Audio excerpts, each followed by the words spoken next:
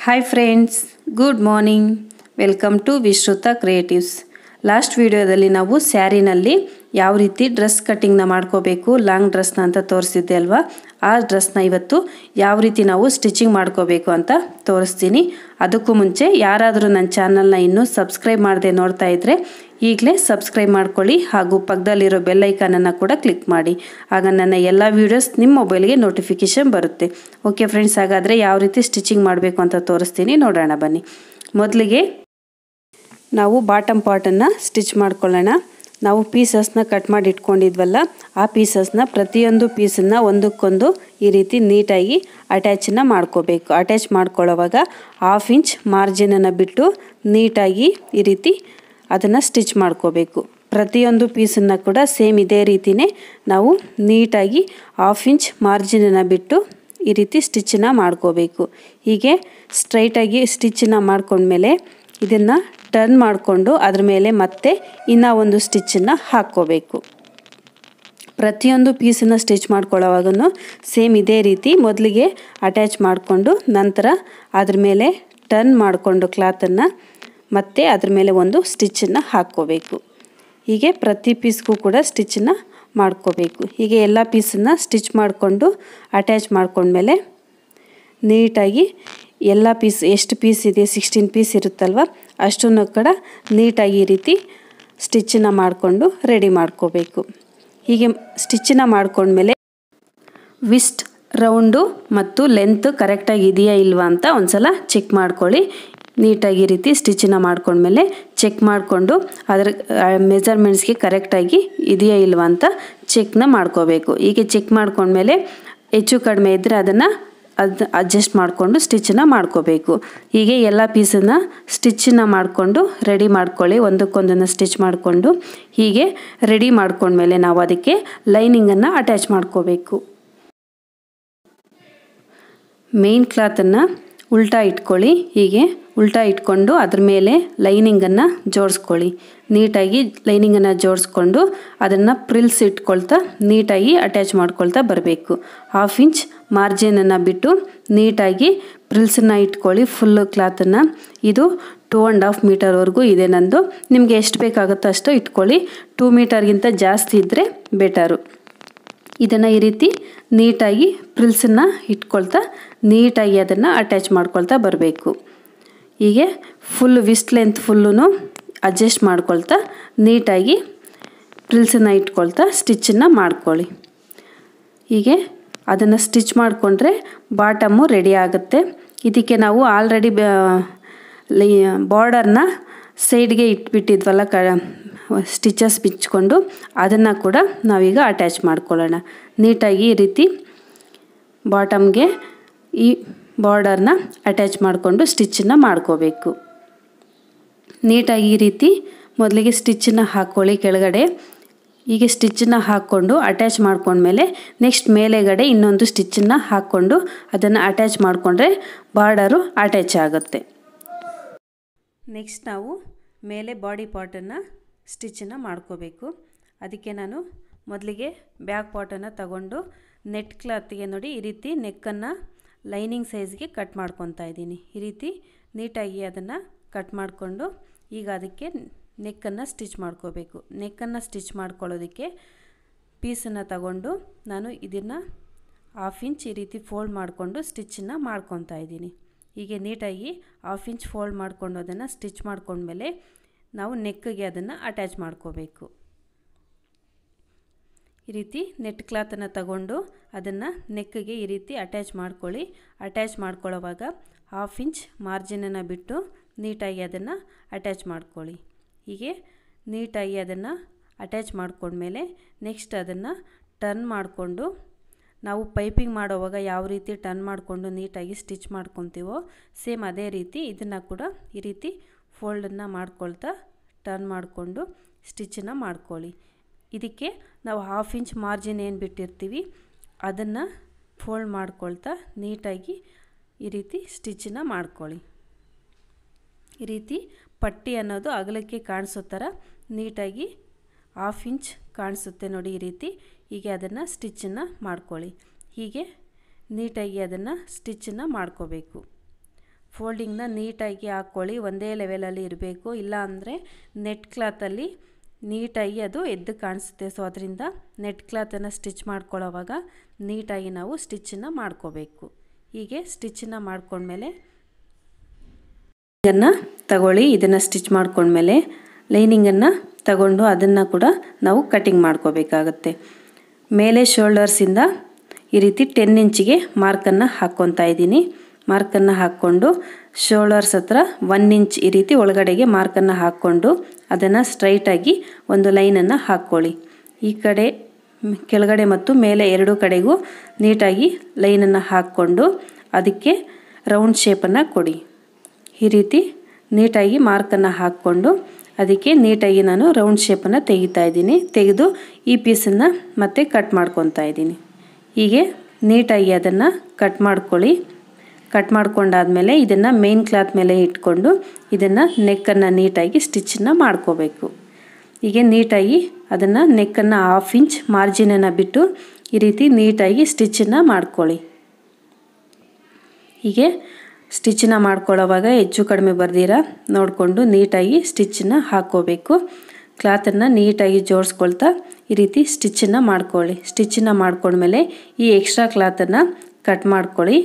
Cut ಮಾಡಿಕೊಂಡು ಅದನ್ನು ಅಲ್ಲಲ್ಲಿ ಒಂದೊಂದು ಟಕ್ಸನ್ನ ಕೊಡಬೇಕು. ಎಕ್ಸ್ಟ್ರಾ ಕ್ಲಾತನ್ನು ನೀಟಾಗಿ ಈ ರೀತಿ ಕಟ್ ಮಾಡಿಕೊಂಡು ಅದಕ್ಕೆ ಟಕ್ಸನ್ನು ಕೊಟ್ಟು ಅದನ್ನು ಟರ್ನ್ ಮಾಡಿಕೊಂಡು ಸ್ಟಿಚ್ಚನ್ನು ಮಾಡ್ಕೋಬೇಕು. ನೀಟಾಗಿ ಕಟ್ ಮಾಡಿಕೊಂಡ್ಮೇಲೆ ಈಗ ಇದನ್ನು ಟರ್ನ್ ಮಾಡಿಕೊಂಡು ನಾವು ಸ್ಟಿಚ್ಚನ್ನು ಮಾಡ್ಕೊಳ್ಳೋಣ. ಟಕ್ಸನ್ನು ನೀಟಾಗಿ ಇಟ್ಕೊಳ್ಳಿ, ಇಲ್ಲಾಂದರೆ ಫಿನಿಶಿಂಗು ನೀಟಾಗಿ ಬರೋದಿಲ್ಲ. ಈಗ ಇದನ್ನು ಟರ್ನ್ ಮಾಡಿಕೊಂಡು ಮತ್ತೆ ನೆಕ್ಕನ್ನು ನೀಟಾಗಿ ಸ್ಟಿಚ್ಚನ್ನು ಮಾಡ್ಕೊಳ್ಳಿ. ನೀಟಾಗಿ ಕ್ಲಾತನ್ನು ಜೋಡಿಸ್ಕೊಳ್ತಾ ಸ್ಟಿಚ್ಚನ್ನು ಮಾಡ್ಕೋಬೇಕು. ಹೀಗೆ ನೀಟಾಗಿ ಅದನ್ನು ಸ್ಟಿಚ್ಚನ್ನು ಮಾಡ್ಕೊಂಡ್ಮೇಲೆ ಎಲ್ಲ ಸೈಡ್ಸ್ಗೂ ಕೂಡ ನೆ, ಲೈನಿಂಗನ್ನು ಮತ್ತು ಮೇನ್ ಕ್ಲಾತನ್ನು ಸೇರಿಸ್ಕೊಂಡು ಮತ್ತೆ ಸ್ಟಿಚ್ಚನ್ನು ಮಾಡ್ಕೊಳ್ಳಿ. ಹೀಗೆ ನೀಟಾಗಿ ಸ್ಟಿಚ್ಚನ್ನು ಮಾಡ್ಕೊಳ್ತಾ ಬರಬೇಕು. ನೀಟಾಗಿ ನೆಕ್ಕನ್ನು ಸ್ಟಿಚ್ ಮಾಡ್ಕೊಳ್ಳಿ. ಹೀಗೆ ನೀಟಾಗಿ ಅದನ್ನು ಸ್ಟಿಚ್ ಮಾಡ್ಕೊಂಡ್ಮೇಲೆ ನೆಕ್ಸ್ಟ್ ನಾವು ಲೈನಿಂಗನ್ನು ಮತ್ತು ಮೇನ್ ಕ್ಲಾತನ್ನು ಸೇರಿಸ್ಕೊಂಡು ಸ್ಟಿಚ್ಚನ್ನು ಹಾಕ್ಕೊತಾ ಇದ್ದೀನಿ. ಹೀಗೆ ನೀಟಾಗಿ ಸ್ಟಿಚ್ಚನ್ನು ಹಾಕ್ಕೊಂಡ್ಮೇಲೆ ಈ ಎಕ್ಸ್ಟ್ರಾ ಕ್ಲಾತ್ ಇದೆಯಲ್ವ? ಈ ಎಕ್ಸ್ಟ್ರಾ ಕ್ಲಾತನ್ನು ನೀಟಾಗಿ ಎಲ್ಲ ಕಡೆಗೂ ಕೂಡ ನೀಟಾಗಿ ಅದನ್ನು ಕಟ್ ಮಾಡ್ಕೋಬೇಕು. ನೀಟಾಗಿ ಎಲ್ಲ ಕಡೆಗೂ ಕೂಡ ಈ ರೀತಿ ಸ್ಟಿಚ್ಚನ್ನು ಮಾಡ್ಕೊಳ್ಳಿ.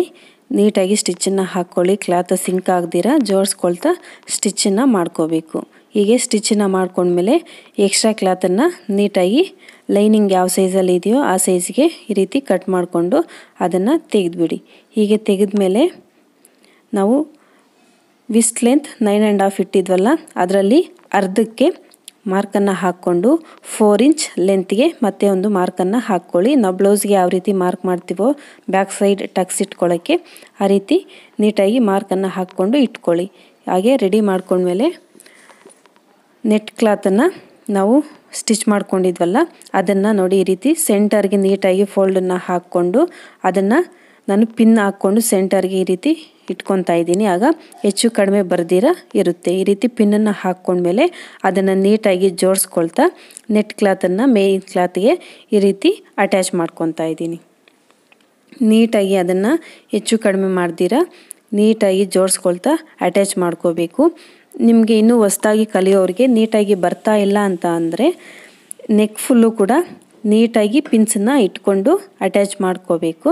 ಆಗ ನೀಟಾಗಿ ಫಿನಿಶಿಂಗ್ ಅನ್ನೋದು ಬರುತ್ತೆ. ಹೀಗೆ ನೀಟಾಗಿ ಅದನ್ನು ನೆಕ್ಕನ್ನು ಸ್ಟಿಚ್ ಮಾಡ್ಕೊಂಡ್ಮೇಲೆ ನೀಟಾಗಿ ಸ್ಟಿಚ್ಚನ್ನು ಮಾಡ್ಕೊಳ್ಳಿ, ಹೆಚ್ಚು ಕಡಿಮೆ ಮಾಡ್ತೀರ? ಹೀಗೆ ನೀಟಾಗಿ ಅದನ್ನು ಸ್ಟಿಚ್ಚನ್ನು ಹಾಕ್ಕೊಳ್ಳಿ. ಹೀಗೆ ಹಾಕ್ಕೊಂಡ್ಮೇಲೆ ಅದನ್ನು ಸೈಡ್ಸಲ್ಲಿ ಕೂಡ ಮೇನ್ ಕ್ಲಾತಿಗೆ ನೀಟಾಗಿ ಅಟ್ಯಾಚ್ ಮಾಡ್ಕೊಳ್ತಾ ಒಂದೊಂದು ಸ್ಟಿಚ್ಚನ್ನು ಹಾಕ್ಕೋಬೇಕು. ಈ ರೀತಿ ನೀಟಾಗಿ ಸ್ಟಿಚ್ಚನ್ನು ಮಾಡ್ಕೊಳ್ಳಿ. ನಿಧಾನಕ್ಕೆ ಆಗಲಿ ನೀಟಾಗಿ ಸ್ಟಿಚ್ಚನ್ನು ಮಾಡ್ಕೋಬೇಕು.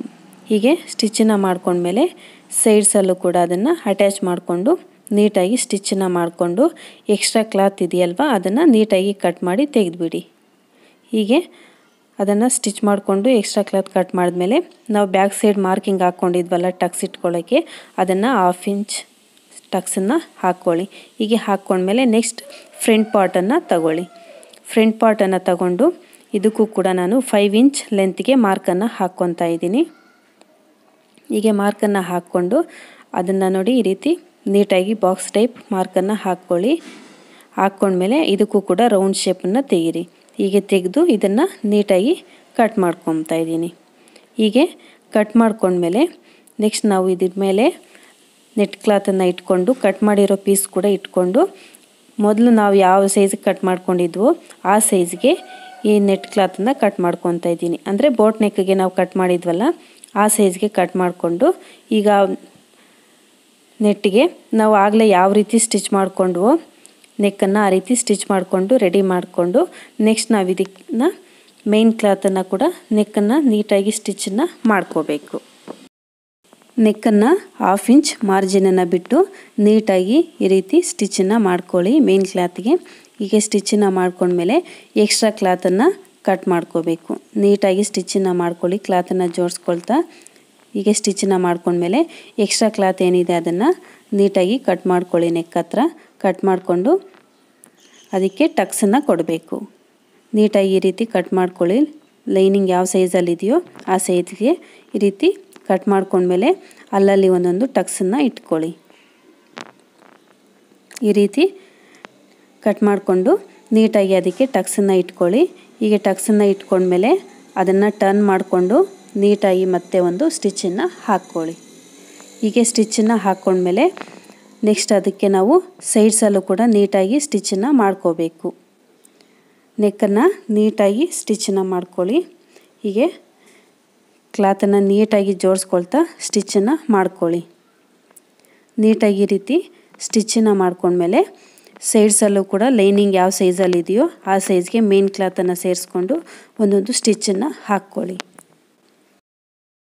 ಹೀಗೆ ಅದನ್ನು ನೀಟಾಗಿ ಸ್ಟಿಚ್ಚನ್ನ ಮಾಡಿಕೊಂಡು ಎಕ್ಸ್ಟ್ರಾ ಕ್ಲಾತನ್ನು ಕಟ್ ಮಾಡ್ಕೊಳ್ಳಿ. ನೆಕ್ಸ್ಟ್ ನಾವು ನೆಟ್ ಕ್ಲಾತನ್ನು ಫೈವ್ ಇಂಚ್ಗೆ ಮೇನ್ ನಾವು ಇಟ್ಕೋಬೇಕಲ್ವ? ಅದಕ್ಕಿಂತ ಹಾಫ್ ಇಂಚ್ ಇಲ್ಲ ಒನ್ ಇಂಚ್ ಎಕ್ಸ್ಟ್ರಾ ಮಾರ್ಜಿನನ್ನು ಇಟ್ಕೊಂಡು ನೀಟಾಗಿ ಅದನ್ನು ಕೂಡ ಈ ರೀತಿ ಕಟ್ ಮಾಡ್ಕೊಳ್ಳಿ.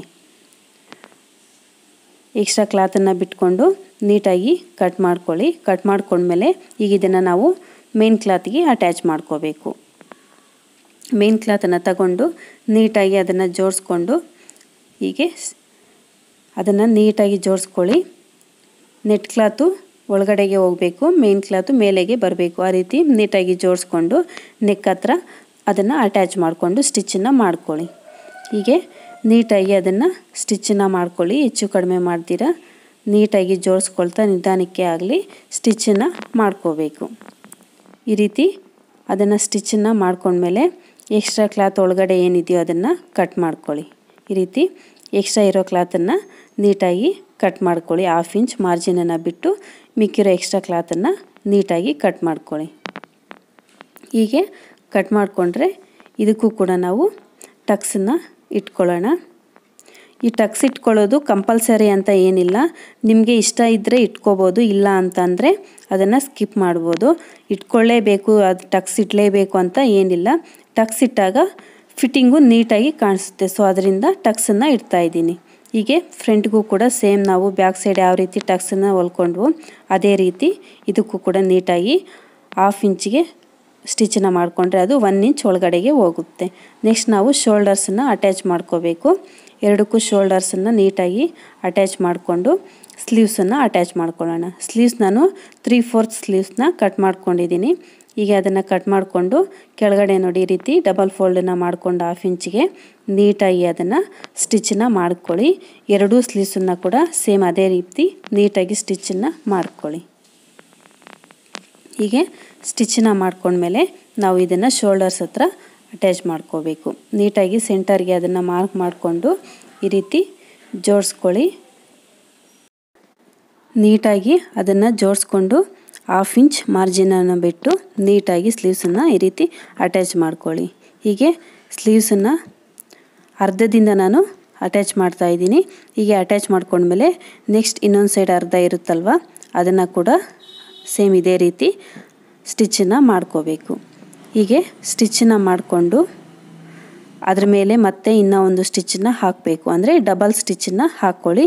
ಕಂಪಲ್ಸರಿಯಾಗಿ ಡಬಲ್ ಸ್ಟಿಚ್ಚನ್ನು ಹಾಕಲೇಬೇಕು. ಹೀಗೆ ನೀಟಾಗಿ ಅದನ್ನು ಸ್ಟಿಚ್ಚನ್ನು ಮಾಡ್ಕೊಳ್ಳಿ.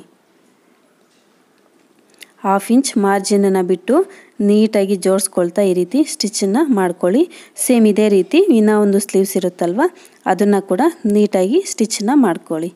ಹೀಗೆ ಎರಡು ಸ್ಲೀವ್ಸನ್ನು ನೀಟಾಗಿ ಸ್ಟಿಚ್ಚನ್ನು ಮಾಡ್ಕೊಂಡ್ಮೇಲೆ ನಾವು ಇದನ್ನು ಸೈಡಲ್ಲಿ ಒಂದು ಸೈಡ್ಗೆ ಮಾತ್ರ ನೀಟಾಗಿ ಅಟ್ಯಾಚ್ ಮಾಡ್ಕೋಬೇಕು.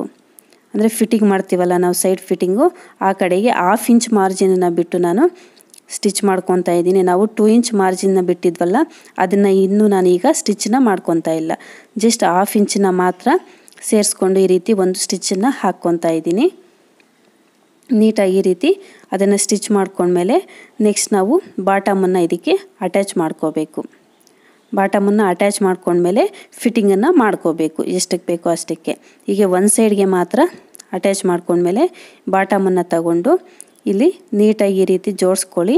ಜೋಡಿಸ್ಕೊಳ್ತಾ ಹಾಫ್ ಇಂಚ್ ಮಾರ್ಜಿನನ್ನು ಬಿಟ್ಟು ನೀಟಾಗಿ ಅದನ್ನು ಜೋಡಿಸ್ಕೊಳ್ತಾ ಸ್ಟಿಚ್ನ ಮಾಡ್ಕೊಳ್ಳಿ. ಹೀಗೆ ಸ್ಟಿಚ್ ಮಾಡ್ಕೊಳ್ಳೋವಾಗ ನಿಮಗೆ ಯಾವುದಾದ್ರೂ ಎಕ್ಸ್ಟ್ರಾ ಬಂದರೆ ಅಂದರೆ ಬಾಟಮ್ ಪಾರ್ಟು ಎಕ್ಸ್ಟ್ರಾ ಏನಾದರೂ ಬಂದರೆ ನೀವು ಅಲ್ಲಲ್ಲಿ ಒಂದು ಪ್ರಿಲ್ಸನ್ನು ಇಟ್ಕೊಳ್ಳಿ. ಇಟ್ಕೊಂಡು ನೀಟಾಗಿ ಈ ರೀತಿ ಜೋಡಿಸ್ಕೊಳ್ತಾ ಸ್ಟಿಚ್ಚನ್ನು ಮಾಡ್ಕೊಳ್ಳಿ. ಇದಕ್ಕೂ ಕೂಡ ಡಬಲ್ ಸ್ಟಿಚ್ಚನ್ನು ಹಾಕ್ಕೊಳ್ಳಿ. ಹೀಗೆ ನೀಟಾಗಿ ಅದನ್ನು ಜೋಡಿಸ್ಕೊಳ್ತಾ ಸ್ಟಿಚ್ಚನ್ನು ಮಾಡ್ಕೋಬೇಕು. ನೀಟಾಗಿ ಒಂದೇ ಲೆವೆಲಲ್ಲಿ ಬರೋ ಥರ ಸ್ಟಿಚ್ಚನ್ನು ಮಾಡ್ಕೊಳ್ಳಿ. ಹೀಗೆ ಸ್ಟಿಚ್ಚನ್ನ ಮಾಡ್ಕೊಂಡ್ಮೇಲೆ ನಾವು ಬಾಟಮ್ಗೆ ಬಾರ್ಡರ್ನ ಅಟ್ಯಾಚ್ ಮಾಡಿದ್ವಲ್ಲ, ಸೇಮ್ ಅದೇ ರೀತಿ ಬಾರ್ಡರ್ನ ತಗೊಂಡು ನಾನು ಈ ವಿಸ್ಟ್ ಹತ್ರ ಕೂಡ ಸ್ಟಿಚ್ ಮಾಡ್ಕೊತಾ ಇದ್ದೀನಿ. ಆಗ ಚೆನ್ನಾಗಿ ಕಾಣಿಸುತ್ತೆ ನೋಡೋಕ್ಕೆ ಅಂತ ಹೇಳ್ಬಿಟ್ಟು ಆ ಬಾರ್ಡರ್ನ ತಗೊಂಡು ಸ್ಟಿಚ್ಚನ್ನು ಮಾಡ್ಕೊತಾ ಇದ್ದೀನಿ. ನೋಡಿ, ಈ ರೀತಿ ಬಾಟಮ್ನ ನಾವು ಅಟ್ಯಾಚ್ ಮಾಡಿದ್ವಲ್ಲ, ಅದಕ್ಕೆ ಹಾಫ್ ಇಂಚ್ ಕೆಳಗಡೆಗೆ ಇದೇ ರೀತಿ ಜೋಡಿಸ್ಕೊಂಡು ಮೊದಲಿಗೆ ಬಾಟಮ್ ಹತ್ರ ಸ್ಟಿಚ್ ಮಾಡ್ಕೊತಾ ಇದ್ದೀನಿ. ಹೀಗೆ ಕ್ಲಾತು ಒಳಗಡೆ ಸಿಕ್ಕಾಕೊಳ್ದಿರ ನೋಡ್ಕೊಳ್ತಾ ಸ್ಟಿಚ್ ಮಾಡಿಕೊಂಡು ನೆಕ್ಸ್ಟ್ ಮೇಲೆಗಡೆನೂ ಸೇಮ್ ಅದೇ ರೀತಿ ಮತ್ತೆ ಒಂದು ಸ್ಟಿಚ್ಚನ್ನು ಹಾಕ್ಕೊಂಡ್ರೆ ಇದು ನೀಟಾಗಿ ಸ್ಟಿಚಿಂಗು ಆಗುತ್ತೆ. ಹೀಗೆ ನೀಟಾಗಿ ಅದನ್ನು ಬಾರ್ಡನ್ನು ಅಟ್ಯಾಚ್ ಮಾಡಿಕೊಂಡು ಸ್ಟಿಚ್ಚನ್ನು ಮಾಡ್ಕೊಳ್ಳಿ. ಹೀಗೆ ಸ್ಟಿಚ್ ಮಾಡ್ಕೊಂಡ್ಮೇಲೆ ನಾವು ಫಿಟ್ಟಿಂಗನ್ನು ಮಾಡ್ಕೋಬೇಕು. ನಾವು ಟೂ ಇಂಚ್ ಮಾರ್ಜಿನನ್ನು ಬಿಟ್ಟಿದ್ವಲ್ಲ, ಆ ಮಾರ್ಜಿನನ್ನು ಬಿಟ್ಟು ನೀಟಾಗಿ ಈ ರೀತಿ ಸ್ಟಿಚಿಂಗನ್ನು ಹಾಕ್ಕೊಳ್ಳಿ. ಸ್ಲೀವ್ಸಿಂದ ಸ್ಟಾರ್ಟ್ ಮಾಡಿಕೊಂಡು ಈ ರೀತಿ ಹಾಫ್ ಟೂ ಇಂಚ್ ಮಾರ್ಜಿನನ್ನು ಬಿಟ್ಟು ನಾವು ನೀಟಾಗಿ ಈ ರೀತಿ ಅದನ್ನು ಸ್ಟಿಚ್ಚನ್ನು ಮಾಡ್ಕೋಬೇಕು.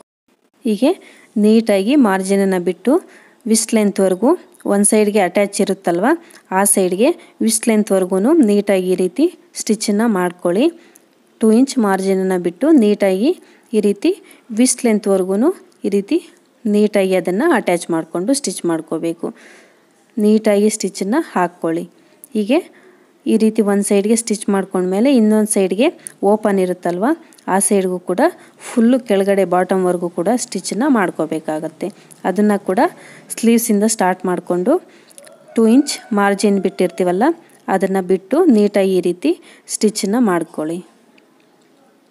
ನೀಟಾಗಿ ಕ್ಲಾತನ್ನು ಜೋಡಿಸ್ಕೊಳ್ತಾ ಹೀಗೆ ಸ್ಟಿಚ್ಚನ್ನು ಮಾಡ್ಕೊಳ್ಳಿ. ಹೀಗೆ ಸ್ಟಿಚ್ಚನ್ನು ಮಾಡ್ಕೊಂಡ್ಮೇಲೆ ವಿಸ್ಟ್ ಹತ್ರ ಬಂದಮೇಲೆ ಲೈನಿಂಗನ್ನು ಬಿಟ್ಟು ಮೇನ್ ಕ್ಲಾತನ್ನು ಮಾತ್ರ ಸ್ಟಿಚ್ಚನ್ನು ಮಾಡ್ಕೋಬೇಕು.